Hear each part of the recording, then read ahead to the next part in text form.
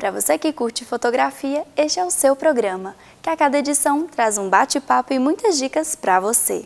Começa agora mais um Fotometria.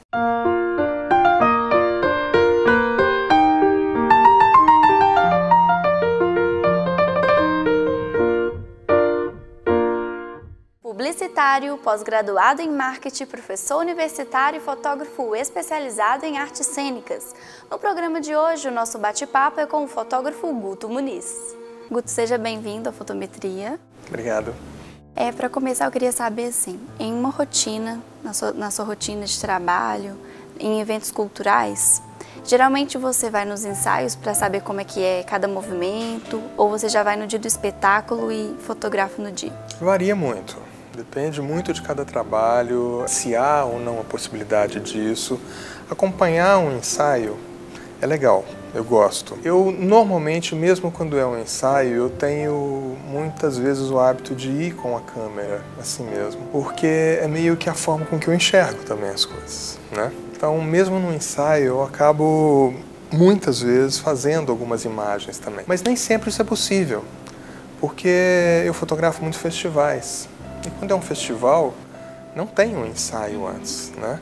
Você tem que chegar lá e pronto. O que me cabe antes disso é fazer uma pesquisa sobre aquele trabalho que, né, que vai ser apresentado, sobre a companhia, sobre o diretor, saber o máximo possível sobre a proposta que vai ser apresentada ali para que eu esteja o mais preparado possível para isso. Acompanhar o processo de criação é melhor do que, ainda do que o ensaio. Você vai entendendo cada elemento que compõe aquele espetáculo, que torna a fotografia de cena muito mais rica na medida que você pode acompanhar um processo. A fotografia e o teatro são suas duas paixões? São. O teatro e a fotografia eles vieram praticamente juntos para mim, por isso dessa união desde o começo. Eu nunca tinha pensado de ser fotógrafo, até entrar para a faculdade, nunca isso tinha passado pela minha cabeça. Mas na faculdade eu tive uma disciplina de fotografia, mas antes dela eu tive uma disciplina de teatro e me apaixonei. E a primeira coisa que eu fiz após isso foi o quê? Fotografar um espetáculo. E isso veio junto. E quando eu vi aquelas primeiras imagens de espetáculo surgindo ali na minha frente, eu não quis parar mais. Passei por outras áreas da fotografia, mas é a fotografia de cena que me acompanha desde o começo, muito por conta dessa, dessa boa coincidência.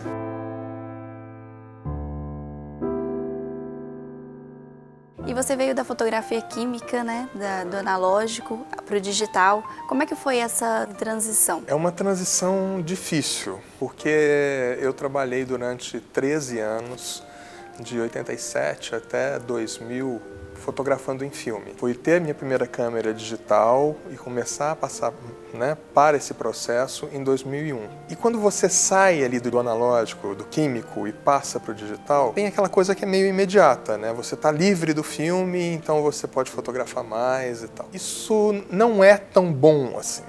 Né? Não, é uma, não é uma passagem é, tão, agradável. tão, agradável. Pode até ser para alguns. Para mim e para a grande maioria dos fotógrafos da minha geração, eu sei que não foi. Por quê? Eu brinco que a gente meio que deu uma emborrecida, assim, porque eu fazia dois filmes, quando muito, de um espetáculo, ou seja, eram 72 fotos. Dali eu conseguia tirar 20 boas fotos, porque eu pensava foto por foto. Eu esperava o momento.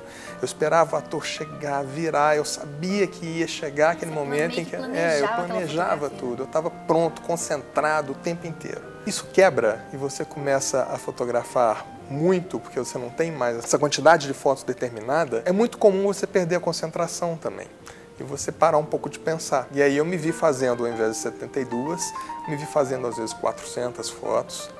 E se antes eu tinha 20 boas fotos, eu tinha dificuldade de escolher 10 entre 400, né? Aí a sua ficha cai e você fala assim, opa, peraí, não é agora? isso, né? E aí você começa a fotografar de novo, pensando mais, buscando uma concentração maior.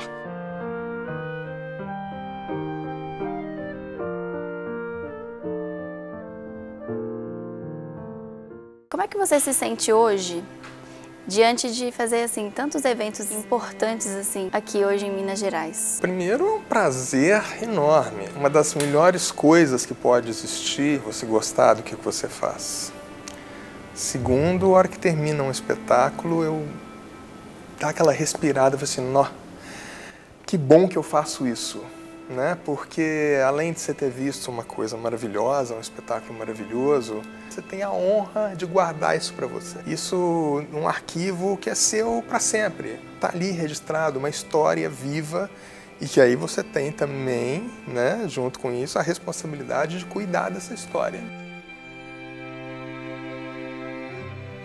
Então isso é maravilhoso. O fato de eu fotografar tantos eventos de artes cênicas importantes aqui, eu acho que é uma coisa que vai além da capacidade técnica que eu tenho, da experiência. É uma bagagem muito grande né, que, que dá às pessoas uma tranquilidade né, em relação ao entendimento do que é esse processo, que não é simplesmente entrar dentro de um teatro e fotografar, mas é todo um respeito que você tem que ter por aqueles que estão ali assistindo, por aqueles que estão no palco. Muito, muito, muito estudo. Eu falo que eu, eu não tenho muita dúvida em dizer que eu conheço muito mais da história das artes cênicas e dos personagens, né, diretores, companhias e tudo das artes cênicas, do que da fotografia. De todos os seus trabalhos até hoje, quais são aqueles que te marcaram de verdade assim? Nossa. e foram muitos, né? Ah, tem muita coisa, tem muita história, tem muita história legal. Tem coisas que são impossíveis de esquecer, como o primeiro espetáculo antigo, né? Companhia Sonho e Drama, Mulheres de Holanda, que veio junto no mesmo período de Romeu e Julieta, do Galpão, que foi esse marco do nosso teatro e que eu tive a honra de, de fazer as primeiras imagens das, as peças gráficas e tudo, e acompanhar depois o galpão daí, né, vários outros trabalhos. A trilogia bíblica do Teatro da Vertigem, que veio em BH em 2004, várias coberturas do FIT BH, que eu venho trabalhando desde 96. Teve muito desses momentos que eu falei de, ai que bom que eu faço isso, né?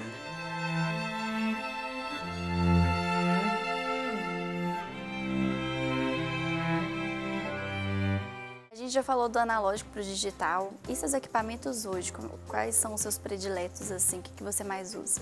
Olha, eu não, não sou um cara de, de ter muita coisa de equipamento, acho que nem precisa. Eu tenho dois corpos de câmera que eu sempre levo para fotografar, apesar de que normalmente eu uso um só. Hoje não tem nem tanta necessidade assim, com, com as câmeras aumentando tanto suas sensibilidades, você nem precisa de objetivos tão luminosos assim, mas é interessante ter, então eu procuro utilizar objetivos mais luminosos. Tenho três objetivos, uma que trabalha mais numa faixa toda zoom, porque você precisa dessa mobilidade, mas uma que trabalha mais na faixa de grande angular, uma que vai de uma grande angular até uma pequena tele e outra na faixa das teleobjetivas. Eu acho que talvez o equipamento que eu tenho mais importante não é câmera, não é objetiva.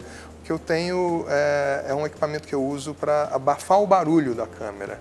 Eu coloco a câmera dentro de uma espécie de bolsa para que porque o teatro ele é feito para ter uma acústica muito boa, pra né? Você não atrapalhar o espetáculo. Para não atrapalhar né? o espetáculo, não, exatamente. Então a descrição é, é, a descrição é uma é uma qualidade imprescindível a um fotógrafo de cena. Como é que é essa escolha assim? Você que escolhe as fotografias para você entregar, por exemplo, ou você junta com a companhia? Depois de realizado o trabalho, eu faço uma pré-seleção nas imagens.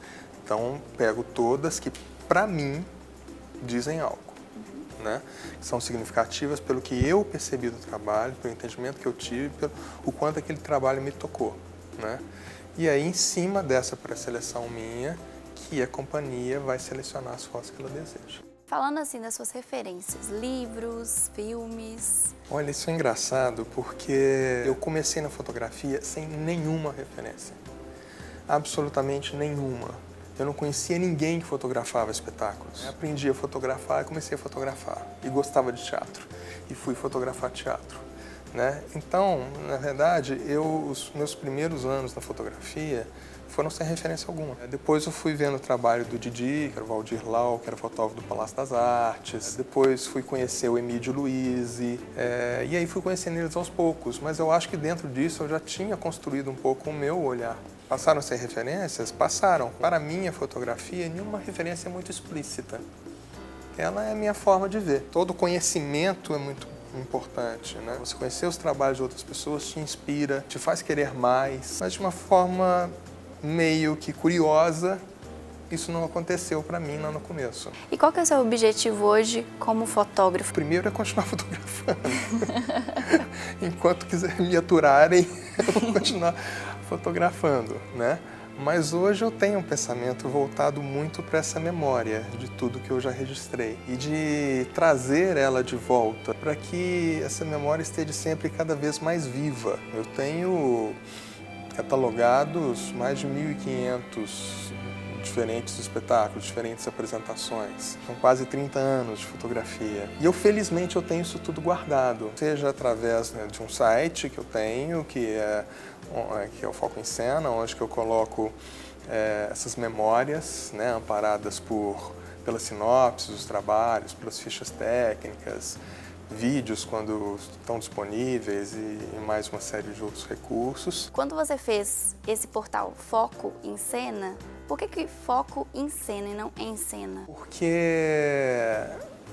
é dentro da cena. A fotografia é o principal, né? Assim, é o elemento visual mais forte que existe ali dentro. Mas o foco é na cena, é dentro da cena. É uma união de mídias, na verdade, onde a fotografia, obviamente, pelo fato de eu ter todo o meu acervo, ela se sobressai um pouco. Mas ele foi feito para ser assim, tanto que não existe lá dentro nenhum trabalho que tenha só fotografia, porque eu queria contar uma história que eu acho, sinceramente, que, a fotografia não contaria sozinha. Eu gosto muito de ver as mídias dialogando, né?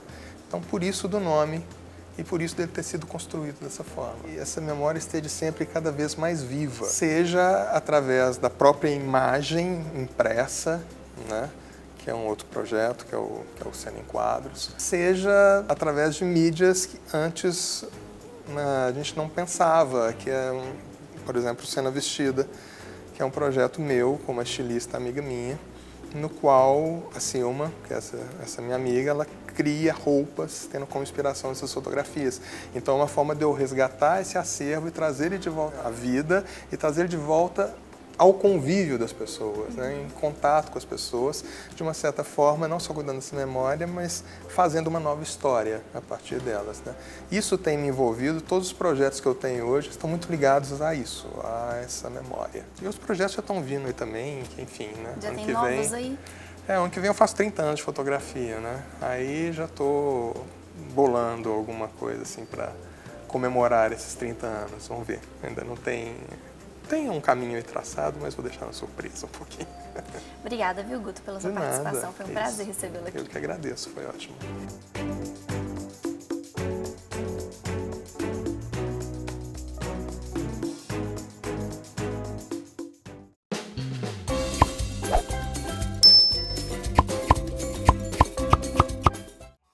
Fique agora com uma dica de ouro da fotógrafa Juliana Vaz de Mello.